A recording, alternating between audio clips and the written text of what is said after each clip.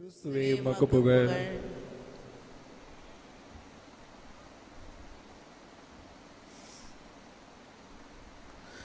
இறையேசு கிறிஸ்துவில் பிரியமான சகோதர சகோதரிகளே உங்கள் விண்ணக தந்தை நிறைவுள்ளவராயிருப்பது போல் நீங்களும் நிறைவுள்ளவர்களாயிருங்கள் என்று ஆண்டவர் இயேசு நம் ஒவ்வொருவருக்கும் அழைப்பு விடுக்கின்றார். நேற்றைய நற்செய்தி வாசகத்தினுடைய தொடர்ச்சியாக இன்றைய நற்செய்தி வாசகமும் அமைந்திருக்கிறது.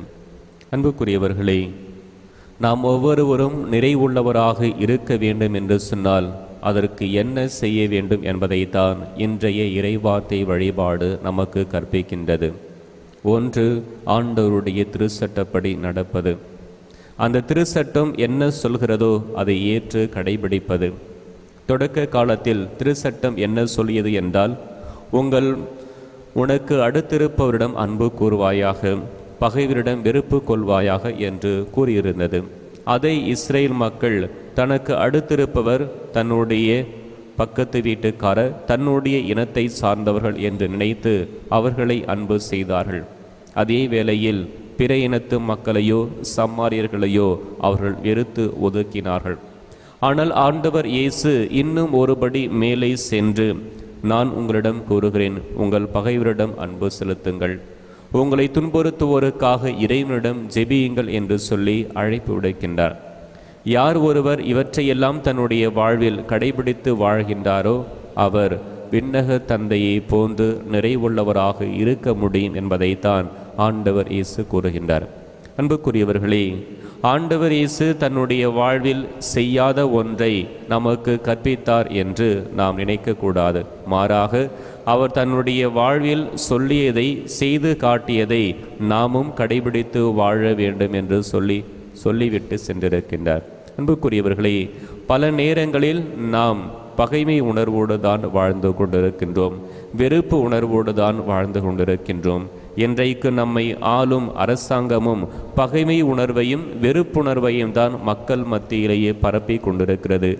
வெறுப்பு ஆட்சிதான் இன்றைக்கு நடைபெற்று கொண்டிருப்பது என்பதை நாம் ஒவ்வொருவருமே அறிவோம். அப்படி என்றால் இந்த உலகத்தில் பகைமையை உண்டாக்கி வெறுப்பை உண்டாக்கி மேல்மட்டத்தில் இருப்பவர்கள் அப்படியே அந்த மேல்மட்டத்திலே தொடர்ந்து வாழ அவர்கள் முயற்சி செய்து கொண்டிருக்கின்றார்கள் என்பதை சாதாரண பாமர மக்கள் அதையெல்லாம் உணராமல் பகைமை பாராட்டி வேற்றுமை பாராட்டி ஒருவர் மற்றவருக்கு எதிராக கிளர்ந்தெழுந்து ஒருவர் மற்றவரை தாக்கி அழித்து கொண்டு இன்றைக்கு மாண்டு கொண்டிருக்கின்றார்கள்.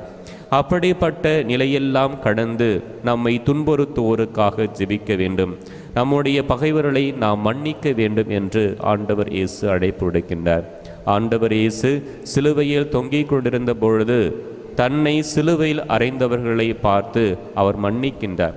அவர் நினைத்திருந்தால் அவர் அவருடைய பாவங்களை எல்லாம் மன்னித்திருக்க முடியும். ஆனால் அவர் தன்னுடைய தந்தையிடம் ஜெபிக்கின்றார். தந்தையே இவர்களை மன்னியும். ஏனென்று சொன்னால் இவர்கள் செய்வது என்னதென்று அறியாமல் செய்கிறார்கள் என்று சொல்லி தன்னுடைய தந்தையை பார்த்து தந்தையிடம் அவர்களுக்காக பரிந்து பேசி தந்தையை இவர்களை மன்னியும் என்று சொல்லி ஜெபிக்கின்றார்.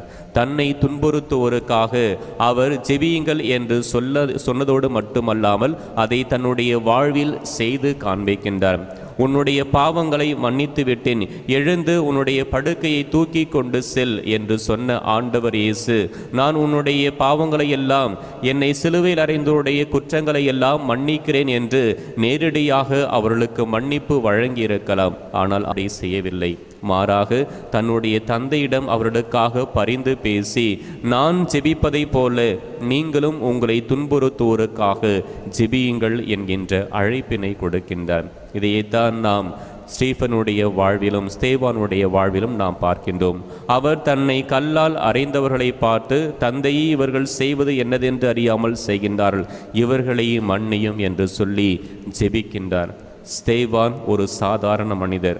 ஆண்டவர் இயேசுவை நாம் கடவுளாக நினைத்து அவர் கடவுள் அவர் எல்லாரையும் மன்னித்து ஏற்றுக்கொள்ளலாம். ஆனால் என்னால் அப்படி மன்னித்து ஏற்றுக்கொள்ள முடியவில்லை என்று நாம் புலம்பலாம். ஆனால் ஸ்டீஃபன் என்பவர் ஒரு சாதாரண மனிதர். அந்த மனிதர் தன்னை கல்லால் எரிந்து கொல்லுகின்ற யூதர்களை பார்த்து மன்னிக்குமாறு கடவுளிடம் வேண்டுகின்றார் ஜெபிக்கின்றார்.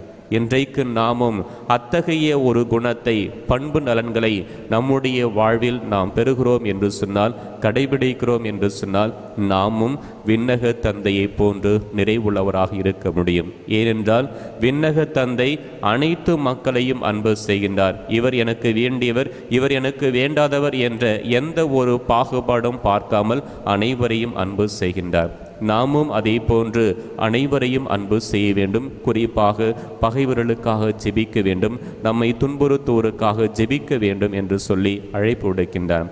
இன்றைக்கு நாம் ஒவ்வொருவருமே பகைமை பாராட்டி வெறுப்புணர்வு பாராட்டி அந்த பகைமை உணர்வோடு நம்முடைய வாழ்வை கடத்தி கொண்டிருக்கிறோம். அது முற்றிலும் தவறானது. குறைந்தபட்சம் நம்முடைய பகைவர்களை மன்னித்து ஏற்க முடியவில்லை என்றாலும் அவர்களுக்காக ஜெபிக்கக்கூடிய மனதினை நாம் இறைவனிடம் கேட்க வேண்டும். இறைவனுடைய அருள் நமக்கு இருந்தால் மட்டும்தான் நம்மை துன்புறுத்தோருக்காக ஜெபிக்க முடியும் நம்முடைய பகைவர்களை அன்பு செய்ய முடியும். என்னுடைய சொந்த பலத்தால் என்னுடைய சொந்த ஆற்றலால் என்னுடைய பகைவர்களை மன்னிக்க முடியுமா? என்னுடைய என்னை துன்புறுத்தோருக்காக ஜெபிக்க முடியுமா என்றால் நிச்சயமாக முடியாது. மாறாக கடவுளுடைய அருள் எனக்கு இருக்கின்ற பொழுது நான் திருச்சட்டத்தின்படி நடக்கின்ற பொழுது மாசற்றவராக இருக்கின்ற பொழுது என்னால் மற்றவர்களுக்காக ஜெபிக்க முடியும் என்பதைத்தான் இன்றைய இறைவார்த்தை வழி வழிபாடு நமக்கு கூறுகிறது. அப்படி நாம் ஒவ்வொருவரும் பகைவர்களை மன்னித்து நம்மை துன்புறுத்துவோருக்காக ஜெபிக்கின்ற பொழுது நாம் என்றும் எப்பொழுதும் கடவுளுடைய மக்களினங்களாக இருப்போம் என்பதைத்தான் இன்றைய முதல் வாசகத்திலே நாம் வாசிக்கின்றோம். நாம் ஒவ்வொருவரும் என்றும் கடவுளுடைய மக்களினமாக வாழ வேண்டும் என்று சொன்னால் இருக்க வேண்டும் என்றால் கடவுளுடைய அடிசுவடுகளை நம் ஆண்டவர் இயேசுனுடைய அடிசுவடுகளை பின்பற்றி வாழ வேண்டும். அப்படி வாழ்கின்ற பொழுது நாமும் விண்ணக தந்தையைப் போல நிறைவுள்ளவர்களாக இருப்போம். நாமும் என்றும் எப்பொழுதும் கடவுளுடைய அன்பு மக்களிடமாகவே இருப்போம் என்பதில் எந்தவித ஐயமும் இல்லை. எனவே நம்முடைய பகைவர்களை அன்பு செய்ய முயற்சி செய்கிறோமா? நம்மை துன்புறுத்துவோருக்காக ஜெபிக்க முயற்சி செய்கிறோமா? என சிந்தித்து பார்ப்போம் செயல்படுவோம். இறைமகன் இயேசு என்றென்றும் வாழ்த்து பெறுவாரா